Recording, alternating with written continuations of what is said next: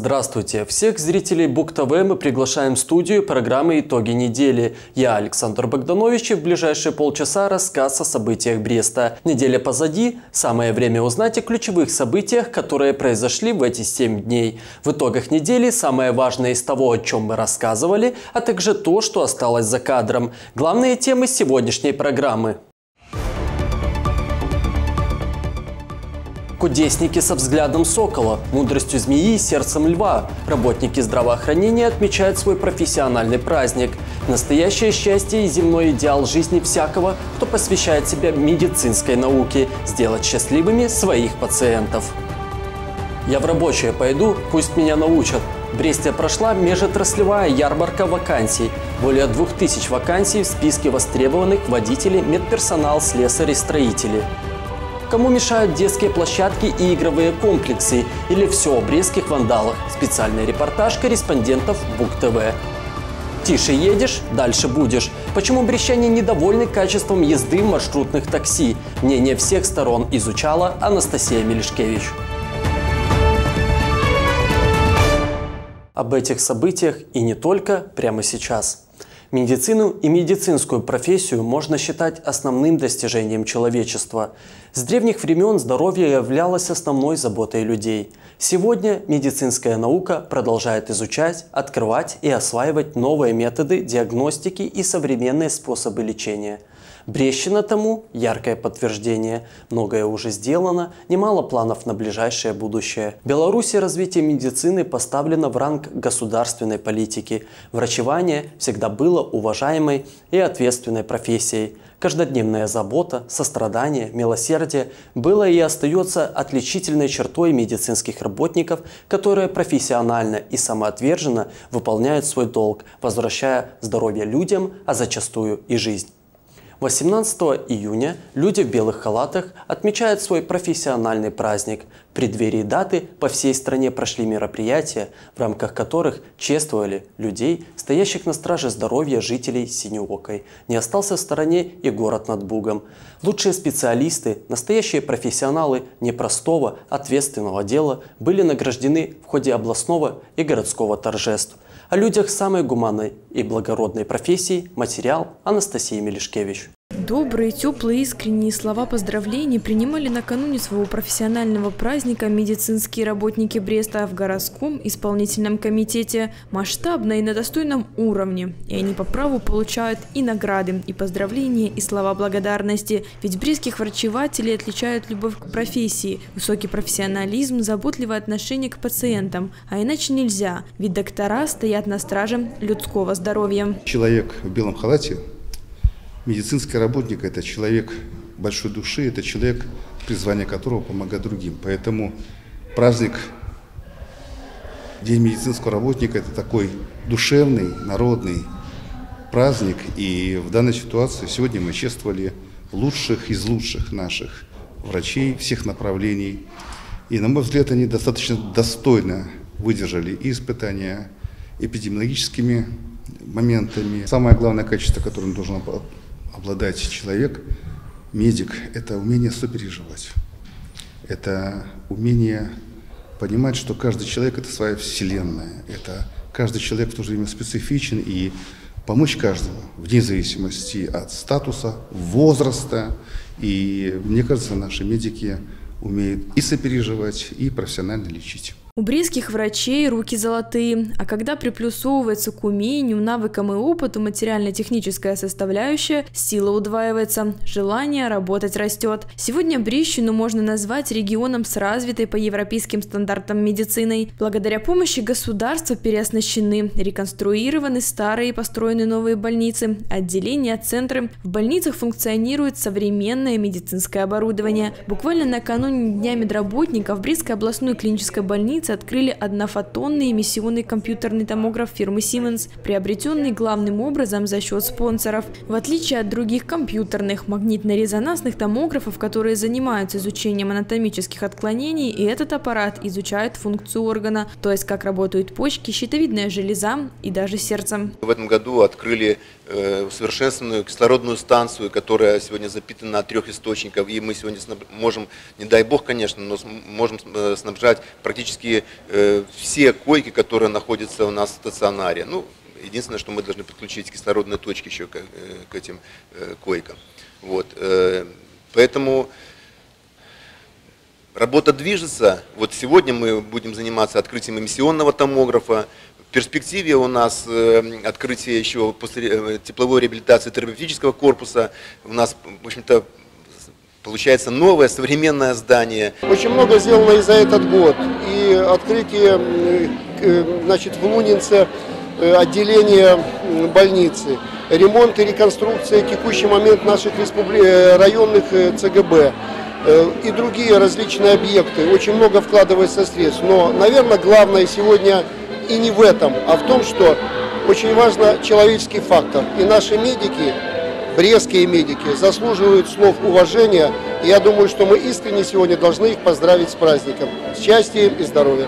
Сложнейшие и самые невероятные операции проводят врачи разных специальностей. Многие из них еще совсем недавно находились в ранге заоблачной мечты, а сегодня воплотились в жизнь. В медицину, как я думаю, и подавляющее большинство, или даже правильнее сказать, все мы и мои коллеги пришли по зову сердца, потому что иначе по-другому здесь никак не получится.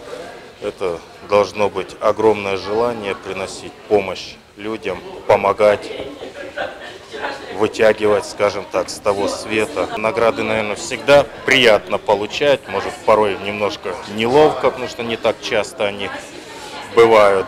Награду «Знак отличник здравоохранения» лично наш министр вручал. Да, приятно получать.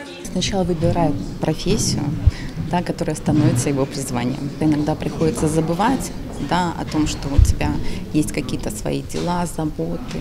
Ты приходишь и должен отдать все, что у тебя есть, доброго и хорошего.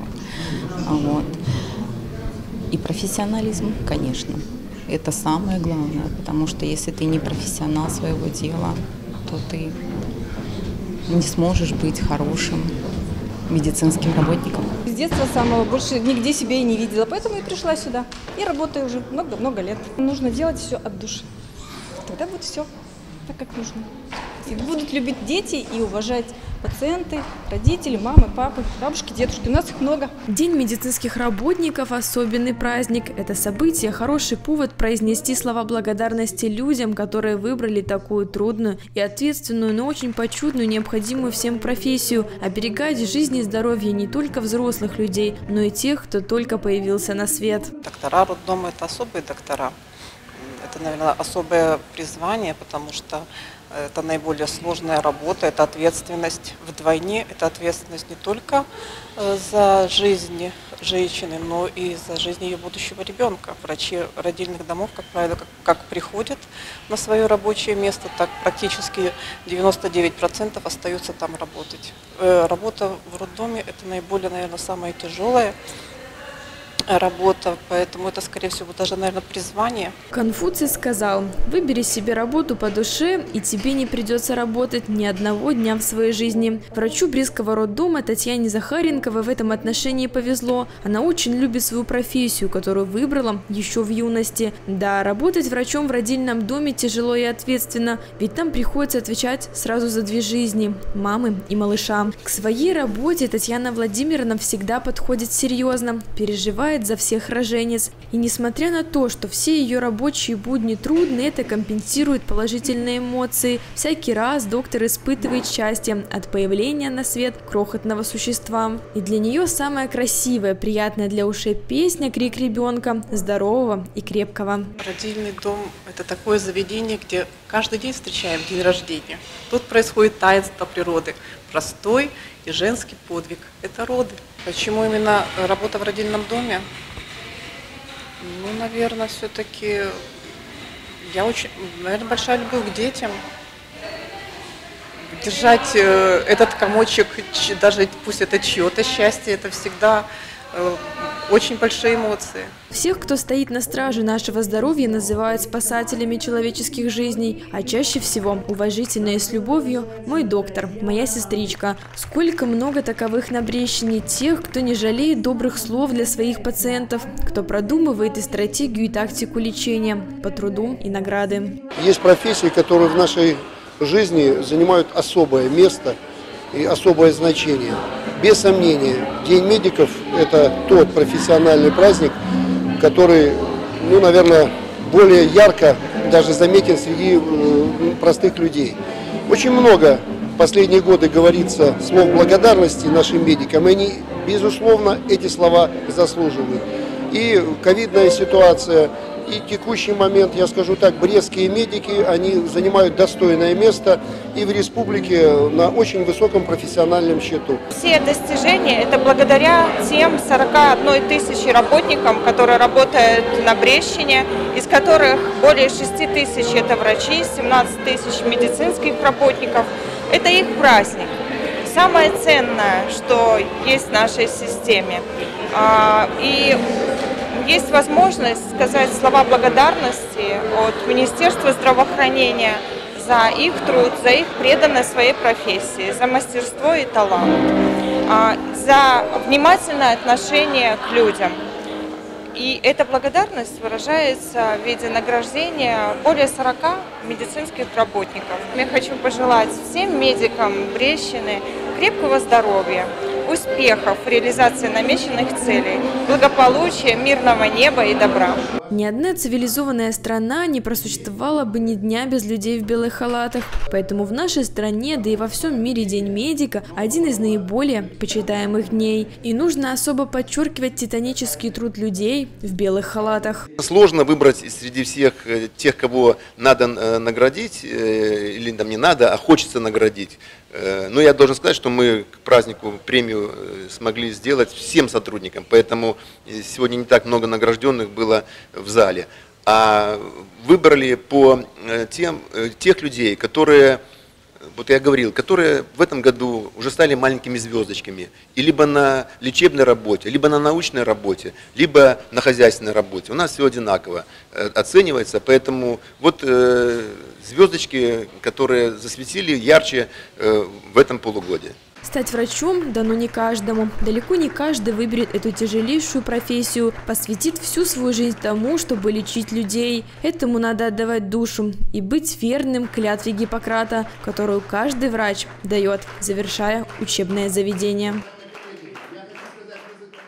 Коллектив нашей телекомпании присоединяется к поздравлениям и желает представителям этой благородной и невероятно сложной профессии в первую очередь здоровья, мира в семье и благополучия. Пусть ваш высокий профессионализм, чуткость, забота всегда будут высоко оценены теми, кому вы смогли помочь. И пусть сделанное вами добро возвращается к вам многократно приумноженным в виде энергии, вдохновения и долголетия – Берегите себя, чтобы в случае необходимости мы смогли сберечь и нас. В эфире «Итоги недели» мы продолжаем. Межотраслевая ярмарка вакансий прошла в Бресте. Порядка 50 потенциальных работодателей и сотни соискателей. Такое большое количество рекрутеров и потенциальных работодателей обосновано. Предприятиям нужна рабочая сила, а людям достойная работа с достойной заработной платой. И ярмарки вакансий, которые проводятся с завидным постоянством, дают возможность встретиться двум сторонам и, как говорится, сверить часы какие требования предъявляются к сотрудникам и что хотят соискатели, насколько высок процент трудоустройства по итогам проведения подобных мероприятий и в чем видят эффект от проведения ярмарок вакансий их организаторы. Ответы на эти и другие вопросы в материале Ларисы Осмолович. Нужна работа, ищите ее на ярмарке вакансий, а тех, кому просто необходимо трудоустройство, в Бресте немало. Это ощущалось уже на подходе горосполкома. Люди делятся друг с другом проблемами, советуют, куда обратиться, и сетуют без работы сегодня никуда. Так было, так есть и так будет. А потому ярмарка вакансий – один из способов быстро трудоустроиться. Но соответствует ли спрос предложениям? Вопрос трудоустройства – это неоконченный процесс, скажем так. Кто-то находит работу быстро, для кого-то требуется время. И несоответствие спроса и предложения, оно было всегда. Просто степень проявления его разная. Я хочу отметить, что в городе Бресте в настоящее время более 2250 вакансий. В основном, ну, большая часть вакансий это рабочие профессии, 59%, а остальные вакансии между отраслями распределены примерно равномерно. Если не считать здравоохранения, здесь эта проблема существует уже какое-то продолжительное время – у нас в городе 21, 21% вакансий – это в сферу здравоохранения. Требуются врачи-специалисты, средний медицинский персонал, а также санитарки. А еще нужны водители. Повышенный спрос в этом году на неквалифицированную рабочую силу. В целом список вакансий достаточно велик – порядка 2250. Соискатели тоже в постоянном движении. С начала года за 5 месяцев к нам обратилось 2100 человек, из них безработными было признано 1100, из 1100 нашли работу 700 человек примерно. Примерно 60-70% в течение непродолжительного времени находят работу. И по состоянию на 1 июня на учете в управлении состоит 398 человек. Это вот, это те, с которыми мы работаем, в том числе и для них предназначено сегодняшнее мероприятие. У каждого человека, который пришел искать работу, своя история, порой довольно грустная. Оксана Павлючик, квалифицированная медсестра, после вынужденного перерыва на работу не берут, причины не обосновывают. Я медицинская сестра, стаж работы 20 лет. Э, два года я не работала по специальности, и после того, как не работала по специальности два года, сейчас немножко проблематично устроиться снова в медицину. И это только один эпизод из жизни человека, оказавшегося без работы. Ситуаций происходит очень много, и иногда тот, кто теперь живет со статусом безработный и не предполагал, что все получится именно так. Кстати, специальность медсестры востребована, и есть вероятность устройства Оксаны на работу в Брестскую клиническую больницу. Нам требуются санитарки, э, требуются кухонные рабочие, повар, э, требуются плотники, э, медсестры, очень много медсестер требуется. Несмотря на то, что грядет распределение после медицинского колледжа, сейчас очень много специалистов будет распределяться в наше учреждение, но тем не менее все равно кадры всегда нам нужны. Каждое предприятие заинтересовано в работниках высокой квалификации, поэтому прямо на месте специалисты-кадровики изучали все документы, подтверждающие образование, знакомились с биографией, заинтересованы в подборе квалифицированных кадров и в Жабинке на сахарном заводе. На постоянную работу нам очень нужны электромонтеры по ремонту обслуживания электрооборудования и слесаря по контрольно-измерительным приборам и автоматике. Для нас это высококвалифицированный труд, потому что это надо иметь минимум колледж. Вот, зарплата от 800 рублей, ну, в зависимости дальше от э, того, как человек себя проявит. Ну, это на постоянную работу. На сезонную работу нам будет очень много необходимо людей, до 150 человек. Это сезонные работники, это менее квалифицированные работники. У нас помимо нашего основного предприятия по всей области есть филиалы. Нужны будут грузчики 50 килограмм очень. Там приличная зарплата, но тяжелый физический труд. Нужны будут э, грузчики, монтеры пути железнодорожного цеха. Нужны будут бортоукладчики, машинисты бортоукладочных машин.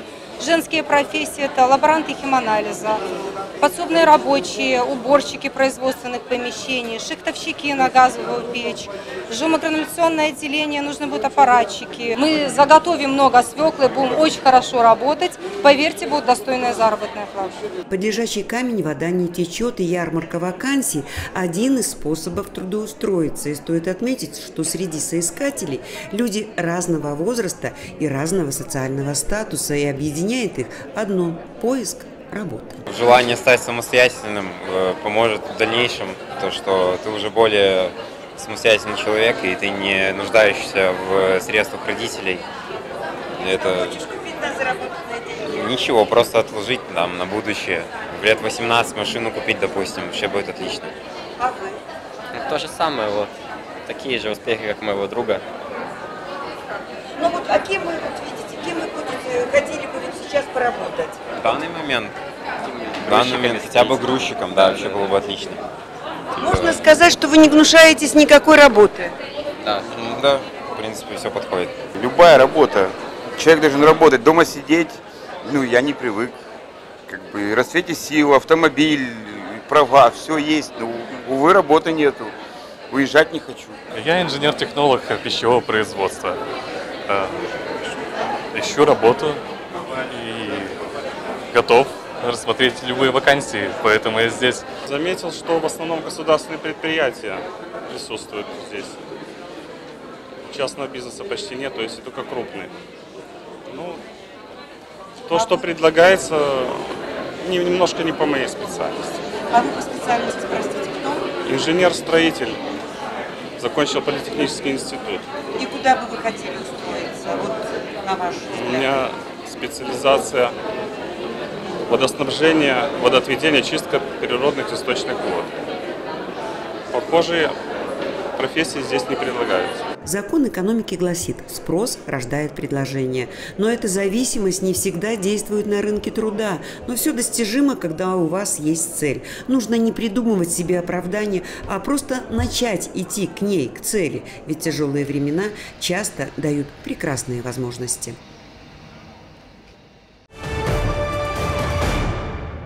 Вы смотрите программу «Итоги недели» на Бук-ТВ. Говорим об актуальном.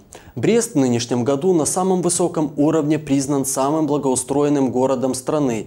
И это подтверждает много фактов и много людей. Нельзя не восхищаться великолепными парками и тенистыми аллеями, уютными узкими улочками и широкими проспектами, современными кварталами, а сколько зелени и цветов. Не зря городом-садом называют наш Брест. Следовать вектору благоустройства продолжат и дальше. Одно из приоритетных направлений – сделать еще комфортнее проживание в спальных районах, особенно старой застройки. Устанавливаются детские комплексы, игровые и спортивные площадки, и на все это уходит немало материальных средств. Для примера – спортивно-игровой городок по улице Московской. Здесь вам и качели, и горки, турники и тренажеры. В общем, тем, кому сегодня за 30, в детстве о таком не могли и мечтать. И вся эта красота могла бы радовать детишек многие годы, если бы не вандалы. Под определение «вандал» попадают не только люди, оскверняющие памятники или иные достопримечательности, но и те, кто умышленно портит непринадлежащее ему имущество. И детская спортивная игровая площадка на Московской как раз одно из таких мест. Она регулярно подвергается нападкам и со стороны подростков, и со стороны маргиналов. Находясь в спальном районе старой постройки, она совсем не защищена от деструктивных действий подобных лиц. Поэтому недоломанные тренажеры, качели и турники, расписанные непонятными каракулями, лишь повод вернуться и доделать начатое. Так и происходит. Затрачено было колоссальные деньги на это все дело. Ну, соответственно, через год эксплуатации мы вот э, приходим и видим, что творится на этих э, площадках. Сломанные качели, вырванное оборудование. Так что ну, назревает вопрос, даже не знаю, что люди к данному имуществу относятся к не как к своему, а как будто данное кто-то им это должен был поставить. Я думаю, надо уже в ближайшее время какой-то менять подход именно, чтобы жильцы, наверное, участвовали в финансировании. Когда они будут участвовать, будут видеть, что они тратят на это деньги, будет совсем другое отношение к этому же имуществу. И, соответственно, нам, как говорится, будет только поддерживать в надлежащем состоянии это имущество. Валерий Жихович, директор фирмы «Стэшан», занимается устранением неисправностей или, проще говоря, разрушений, которые наносят вандалы. Специально для нашего канала он провел мини-экскурсию, во время которой показал последствия действий малолетних разрушителей. Мы занимаемся ремонтом э, вот этого оборудования и за редким исключением, за редким исключением, когда приезжаем во двор, обязательно выходит две-три бабушки, которые начинают нам рассказывать, как тут ночью ломали, как тут пьяницы, как тут это. На вопрос, чего вы не позвонили в милицию, все, бабушки исчезают. Значит, что ломают? У меня лыси, лыси над дыбом встает. Как можно вот такое сломать? Как можно сломать вот это? Моя инженерная голова не понимает как. Дайте посмотреть. Как можно вот это сломать? Это я знаю, как они ломали. Это вдвоем или втроем стали и сломали там ось. Угу. Вот это, вероятнее всего, ударили вот так. Угу. Потому что тут стоит стопор, стопорное кольцо. Сломано.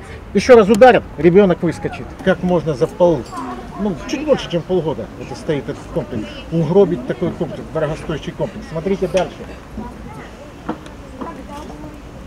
Здесь нету, здесь нету.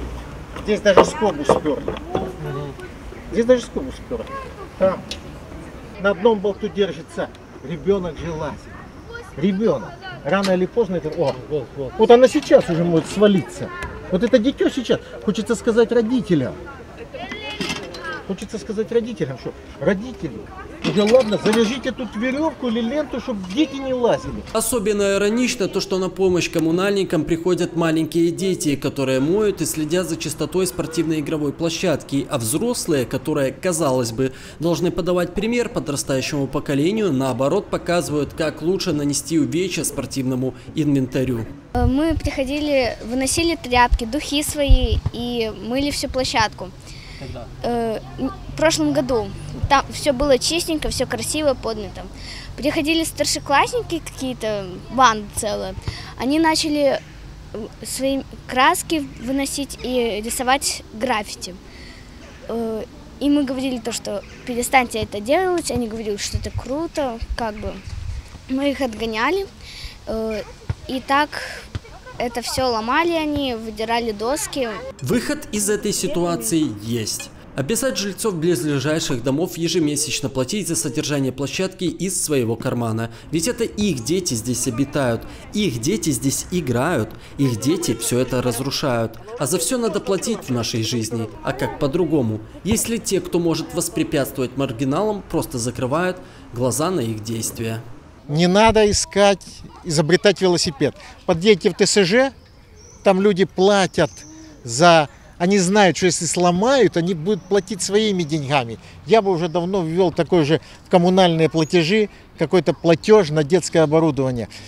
Мы еще по старинке привыкли, что э, как 20 лет назад там варили эту цепь, не цепь, а трубу, повесили сиденье, и его обслуживать ничего не надо. Сейчас же посмотрите, очень тонкое, очень деликатное оборудование. Его надо обслуживать. Надо создать какую-то службу или хотя бы ну, человека, два таких технически грамотных, которые могли приехать посмотреть, что тут и быстренько исправить. Здесь участие должно быть всех, а не только коммунальных служб, что коммунальные службы должны.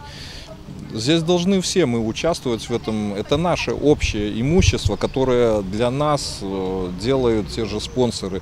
Они тратят средства на это. Мы должны смотреть всеми. Это ж не для нас оно сделано, это для жильцов сделано. Для сравнения мы подъехали на аналогичную детскую площадку среди новых домов по улице Мытной.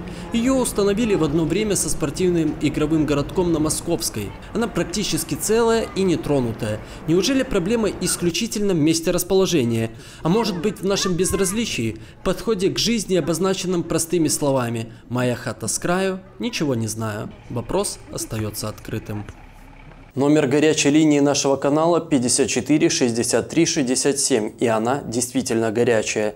Люди звонят и просят решить некоторые вопросы, помогаем по мере наших возможностей. Часто эти звонки становятся темой очередного материала, так получилось и в этот раз. Звонок от брещанки, которая не просто недовольна водителями маршруток, она искренне боится даже сесть в машину, стал поводом для создания нашего следующего сюжета. Все сошлось ко времени и к месту. Сотрудники ГАИ и Брестгортранса также организовали проверку технического состояния транспорта экспрессного сообщения. Чтобы не быть голословными, наши корреспонденты промониторили ситуацию и сделали выводы на основе трех мнений – пассажиров, водителей и официальных представителей ГАИ и Брестгортранса. Брест – областной центр с развитой системой транспортных перевозок. По городским улицам и окрестностям курсируют автобусы, троллейбусы и относительно молодой вид общественного транспорта – автомобили экспрессного сообщения. Сегодня в областном центре перевозка пассажиров занимается 17 маршрутов экспрессного сообщения, а это порядка 355 единиц транспорта. Принадлежат маршрутки как юридическим лицам, так и индивидуальным предпринимателям, которые ежедневно выходят на дороги Бреста. Безопасность людей в приоритете приоритете, поэтому при отборе перевозчика, как к любому водителю общественного транспорта, особые требования. Они проходят стажировку, когда поступают, соответственно, у них должна быть соответствующая категория. Раз в пять лет они должны проходить квалификацию которая в Бресте у нас э, проводит обучение, это коммунально-унитарное предприятие «Брестский общественный транспорт». У них там проходит обучение. А водители, ну, а водители в основном нанимают, это перевозчики. У нас они получают карточку водителя. Мы у себя, естественно, перепроверяем где-то, если у нас какое-то сомнение есть, смотрим по нарушениям, связываемся с ГАИ, какие был человек, привлекался, не привлекался. Делаем э, запросы в наркологию, проверяем справки тоже э, с нарколога, психолога, нарколога. Сами делаем запросы в наркологию, периодически направляем запрос, чтобы нам предоставили сведения. Но вернемся к нашему респонденту, пожелавшему остаться инкогнито. Как говорилось ранее, она не так давно звонила на горячую линию нашего канала, рассказав, что недовольна водителями маршруток. Она искренне боится передвигаться на них. Но подобные ситуации случаются с каждым из нас, поскольку водители маршрутных такси превышают скорость игнорируют правила дорожного движения, нарушают требования перевозки пассажиров. Часто в часы пик салоны маршрутных такси переполнены, хотя это категорически запрещено. Нарушают это одно, но не стоит еще забывать, что пассажир платит вдвое дороже, чем в автобусе и троллейбусе за комфорт. Когда на тебя падает человек с сумкой, когда тебе надо стоять, когда качает, и э, на поворотах можно вообще вывалиться, конечно, неудобно. Придавит больше по скорости, а так в основном, ну, скоростной режим в основном. Ну, перевозки тут, вы знаете, каждый хочет уехать пораньше, и тут уже, но смотреть не водителей, потому что просьбы бывают как с другой, так и с одной стороны. Но в основном это нарушается. Если есть такие моменты, то это факт. Единственное, что я эм, недовольна, что они останавливаются в конце остановки. Если я в начале остановки, то и не добежать, и может, вообще возможность пропустить просто маршрут. Недовольны нарушениями правил дорожного движения со стороны маршруток и водителей автобусов и троллейбусов. Они нас задерживают, выстраиваются в ряд. Они такой же общественный транспорт, как и мы. Они обязаны также подъезжать к бордюру, соблюдать как бы это очередность. Это тот же общественный транспорт. Лихачат, это да, это очень сильно. Короче, они подрезают, в любой момент. Знаете, все время надо быть внимательным. Останавливаются в начале остановки, то это мешает нам. Они останавливаются, да, в конце остановки, приходится ждать, объезжать. Ну, это каждый день почти нарушения, жалобы. А каков алгоритм ответственности? По мере поступления жалоб мы, если э, где-то позвонили пассажиры или э, поступил нам сигнал, что, что с транспортным средством что-то не то, мы вызываем э, на предприятие транспортное средство и тоже осматриваем. У нас э, с каждым перевозчиком имеются договора. В договорах прописаны все нарушения, которые ими допускаются, и есть штрафные санкции. Вызываем, э, оформляем акты, допустим, за неработающую навигацию, за неработающий видеорегистратор. Если транспортное средство не выехало без уважительных причин на линию, э, все это прописано в договорах и всех привлекаем. Как бы не были обоснованы возмущения и водителей автобусов, троллейбусов, пассажиров и специалистов, у водителей маршрутных такси своя точка зрения на эту ситуацию. Если честно сказать, я стоя не беру, вот честно сказать. Стоя не беру, потому что принципиально зачем? Я как бы сам на себя работаю, мне как бы дороже все лицензии и все остальное ИП, как бы, чтобы не закрыли ничего. Обидно, очень обидно. Но некоторые тоже, когда садятся в маршрутку, они хотят заехать за 2-3 минуты с одной точки города в другую точку, которая находится, допустим, как наш маршрут Речица Восток, они хотят туда заехать за 2 минуты, потому что они опаздывают. Каждый утром хочет поспать, а потом я опаздываю на работу, чего вы тянетесь, э, чего вы стоите, такое вот, такие вопросы задают. Ну, пораньше вставайте, выходите. Как бы тоже скоростной режим, светофор, и все это же нужно соблюдать. Пассажиры разные есть люди, и каждому надо, каждому, э, каждому подход – есть пенсионеры, есть маленькие дети, маленькими детьми.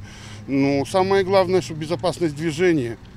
Город, очень много машин, очень много машин, очень много пробок. Главное, чтобы эта сложность, чтобы нас, пассажиров, э, пассажиры любили. Самое главное.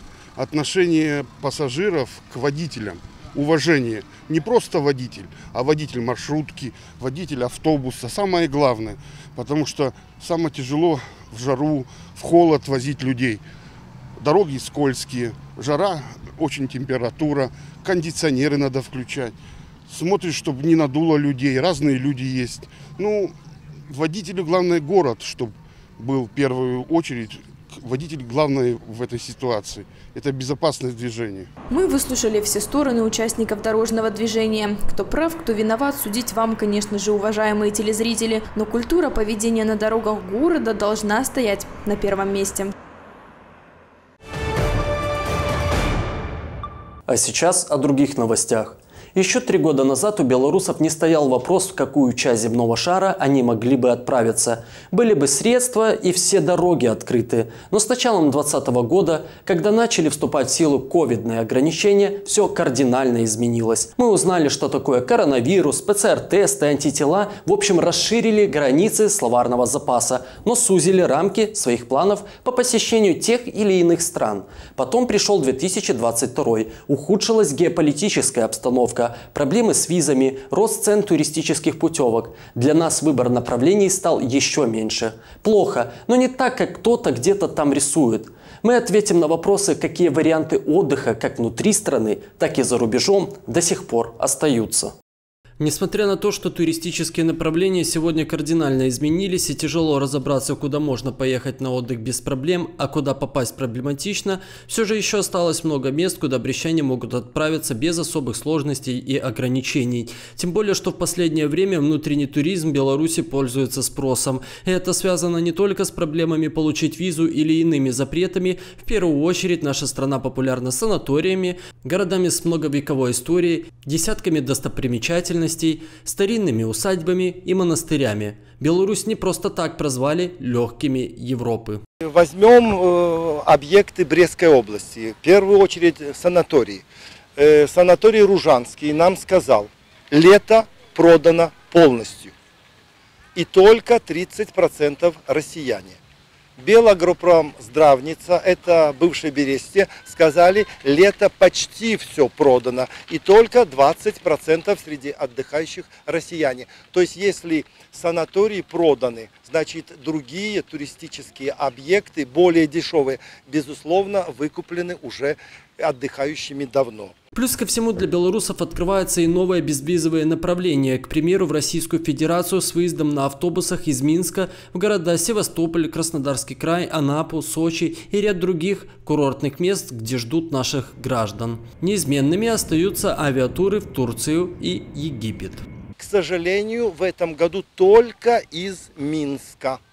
Э, из Бреста чартеров нет что было очень удобно для жителей Брестской области. И в связи с облетами, я имею в виду рейсы на Турцию и на Египет, в связи с облетами через Казахстан очень возросла стоимость авиаперелетов.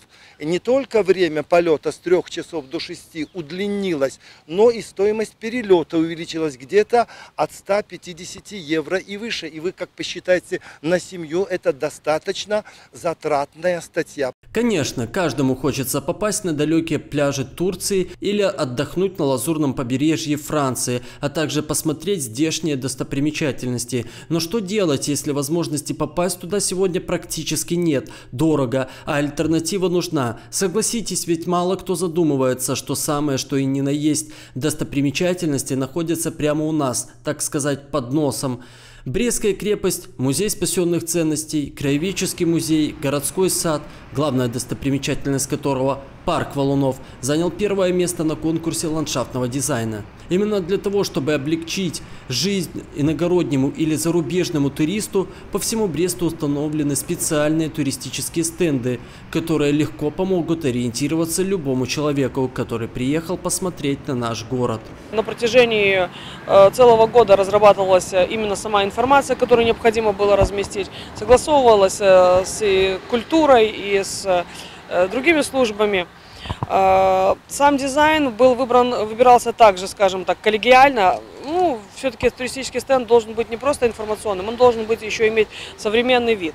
Э, и быть местом, ради, э, рядом с которым интересно сфотографироваться любому туристу, который приезжает в город. Много уделяем времени новым э, маршрутом. Э, специально взяли человека, который экскурсовода, который разрабатывает у нас новый, новый продукт. Почему? Потому что многие уже съездили по вот таким знаковым большим объектам, а вот мелкие такие мелкие музейчики, районные и так далее, очень интересные, которые именно интересно посмотреть, но люди про них вообще ничего не знают. Вот именно вот такими турами сейчас занимается у нас э, экскурсовод э, специально, который мы взяли на, на, на работу. Сложности, которые сегодня стоят перед белорусскими туристами, в первую очередь связаны с непредвиденными обстоятельствами. Никто не ждал пандемию, как никто не ожидал и геополитические проблемы. Тем не менее, сегодня есть отличная возможность изучить собственную страну. Знаете, когда был ковид, к нашему удивлению и к удивлению туристов, э, какая у нас хорошая, интересная страна. Сколько у нас есть всего интересного. Э, просто не всегда есть возможность это посмотреть и как-то, ну, вот не ценишь и не задумываешься о том, где ты живешь, кажется, ну вот в любой момент я, я же все знаю, я все могу. А это получается взгляд со стороны, и на самом деле очень интересно, очень познавательно. Тем более в эти туры, как бы, они относительно демократичны по ценам. Можно собраться с семьей, прекрасно провести с ней время. Можно, конечно, на шашлык поехать, но с удовольствием вот сейчас люди обращаются именно к теме Беларуси, к ее истории. Беларусь – страна с многовековой историей, только городу Бресту уже более тысячи лет. Каждая его улочка – это уже целая история. Парки, сады с оригинальными арт-объектами, тенистые аллеи, широкие проспекты, музеи, известные во всем мире исторические личности – все это объединено в одном областном центре. Именно поэтому любому белорусу, прежде чем отправиться смотреть Варшаву или какой-либо другой город, стоит остановиться, осмотреться и понять, что лучше Бреста нету места. Лучше Бреста нету места. И это действительно так. Ведь наш любимый Брест – это город богатой историей, которой постоянно можно открывать что-то новое, это город интересных людей и, наконец, это город контрастов.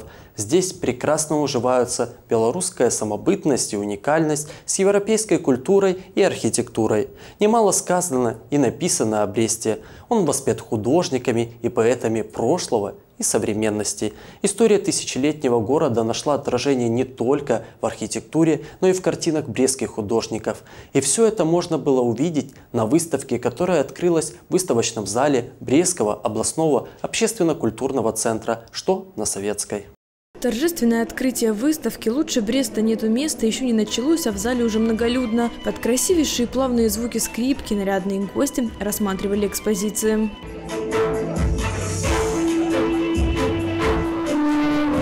Внимание нашей съемочной группы привлекли мужчины в смокингах и цилиндрах и дамы в старинных платьях и шляпах. Оказывается, они и были виновниками и организаторами торжества. Мастера клуба народного творчества «Наследие» и Белорусской ассоциации творческих людей, которые представили на суд зрителей плоды своего творчества. На сегодняшней экспозиции э, участвует 35 наших городских художников.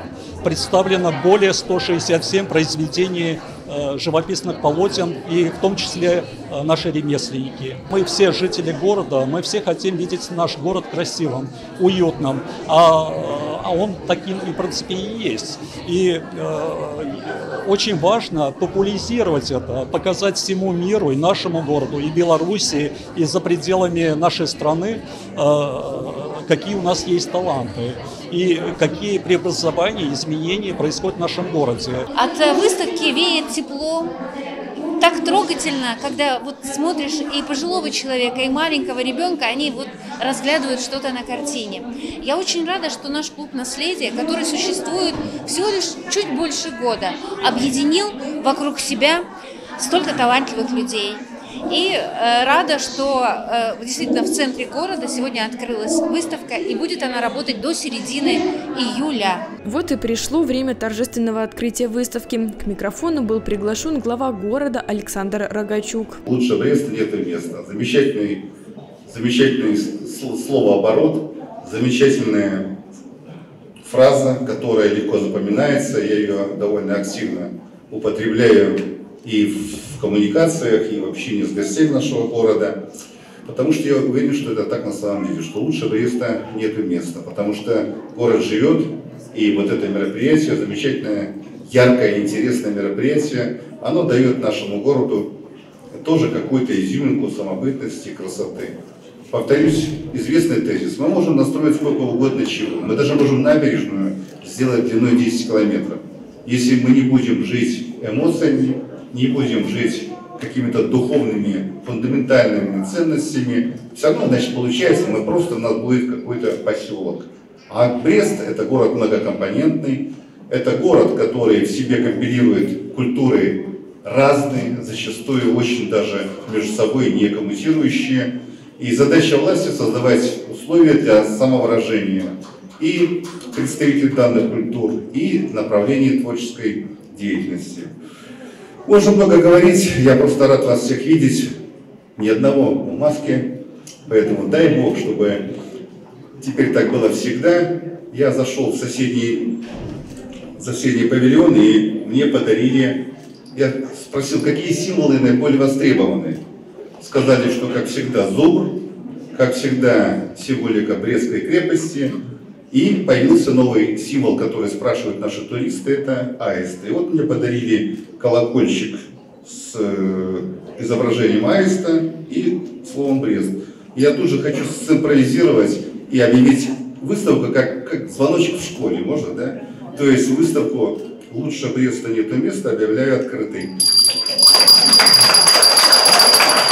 Представленные на вернисаже 120 работ имеют широкий творческий диапазон, разнообразный по своей стилистике и тематике, но все они объединены одним посылом – темой любви к любимому городу. И несомненно, что каждый присутствующий нашел, что посмотреть и узнать. Это и старые улочки в центре с неповторимой атмосферой, ухоженные парки и скверы, дарящие прохладу и летний зной. Это и всем знакомые реки и озера. И, конечно, Брестская крепость, принявшая первый бой 22 22 июня 1941 года. Она до сих пор хранит свои тайны и удивляет историков. Но даже несмотря на то, что город Брест тогда был разрушен, он смог возродиться заново, как феникс из пепла. В начале 90-х годов, как художник, да, я тоже вот много писал город Брест, и было сложно что-то написать, не так было много красивых, значимых мест.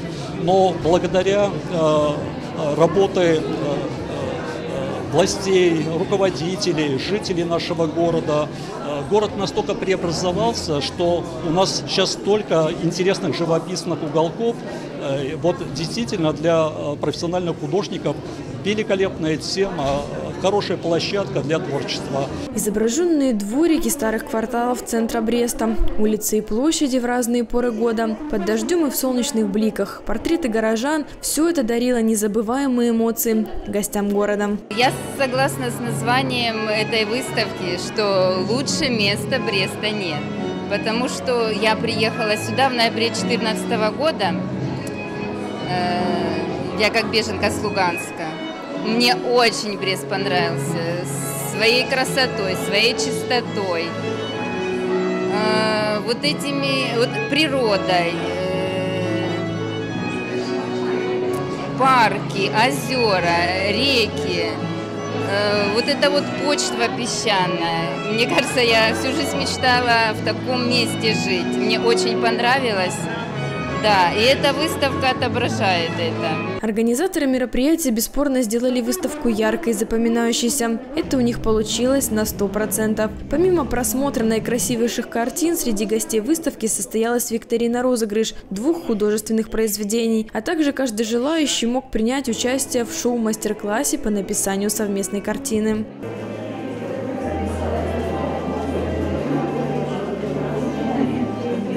Незабываемую атмосферу выставки создавали и приглашенные артисты. Они смогли добавить мероприятию шармом и эксклюзивности. Ведь слоган «Лучше Бреста нету места» стал для всех нас выражением любви к своему городу.